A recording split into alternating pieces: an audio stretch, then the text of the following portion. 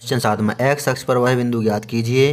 तो एक्स अक्ष पर बिंदु माना हमने पी ये मान लिया हमने ए बिंदु और ये मान लिया हमने बी बिंदु से समदूरस्थ है।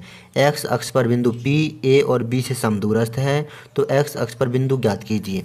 तो हमें पता है जब एक्स अक्ष पर बिंदु हो तो एक्स अक्ष पे एक्स का मान होगा, लेकिन वाई निर्देशांक शून्य होगा। एक्स अक्ष पर एक्स निर्देशांक होगा, लेकिन वाई निर्देशांक शून्य होगा। जहाँ कहीं पर भी एक्स अक्ष पर बिंदु मिलेगा तो वाई निर्देशांक शून्य होता है। ये ग्राफ में हमें पता ही है। तो यहाँ पर पी बिंदु है बी और ए से समान दूरी पर है सम समदूरस्थ है, प्रश्न भी कहा है। ए पी और बी पी ये यहाँ पर समान दूरी है। तो दूरी निकाल लेते हैं हम, तुलना कर देते हैं। ए पी के बीच दूरी बराबर बी पी के बीच दूरी। तो हमारा एक्स का मान आ जाएगा वाई का मान तो हमें पता ही है कि ज़ीरो है। तो यहाँ पर तो यहाँ पर ए पी तो ए निर्देशांक है इसके दो कोमा माइनस पाँच। और पी तो पी है यहाँ पर एक्स कोमा ज़ीरो और बी पी तो बी है निर्देशांक यहाँ पर माइनस दो कोमा नौ। और पी है यहाँ पर एक्स कोमा ज़ीरो तो यहाँ पर दूरी सूत्र लगाएँगे हम। तो ये हमने दोनों तरफ़ दूरी सूत्र लिख दिया। रूट से रूट हो जाएगा कैंसिल अब यहाँ पर मान रखेंगे, हम रूट नहीं रहेगा दोनों तरफ़ ही तो ए पी तो ये हो जाएगा एक्स वन ये हो जाएगा वाई वन ये हो जाएगा एक्स टू ये हो जाएगा वाई टू तो एक्स टू तो एक्स टू है एक्स माइनस एक्स वन है दो। तो इसका वर्ग रूट से रूट कैंसिल हो ही चुके हैं प्लस वाई टू है ज़ीरो माइनस वाई वन है माइनस के पाँच तो हो जाएँगे प्लस पाँच।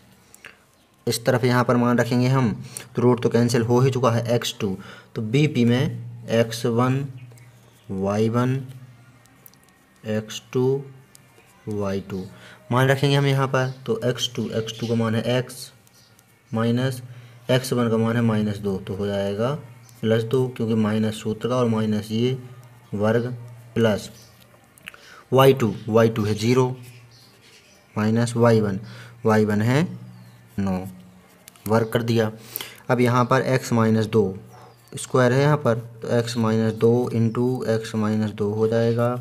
पाँच का वर्ग होता है पच्चीस।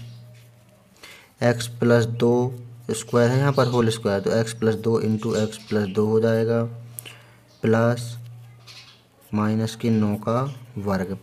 अब यहाँ पर गुणा करेंगे एक्स का गुणा इन दोनों में फिर माइनस दो का गुणा इन दोनों में इसी प्रकार यहाँ पर एक्स का गुणा एक्स में तो हो जाएगा एक्स स्क्वायर एक्स का गुणा माइनस दो में तो माइनस दो एक्स अब माइनस दो का गुणा इन दोनों में करेंगे तो माइनस दो का गुणा एक्स में करेंगे तो माइनस दो एक्स माइनस दो का गुणा माइनस दो में करेंगे तो माइनस गुणा माइनस में तो प्लस दो का गुणा दो में तो चार प्लस पच्चीस बराबर एक्स का गुणा एक्स में तो एक्स स्क्वायर प्लस एक्स का गुणा दो में तो दो एक्स प्लस दो का गुणा एक्स में तो दो एक्स प्लस दो का गुणा दो में तो चार, नौ गुणे नौ।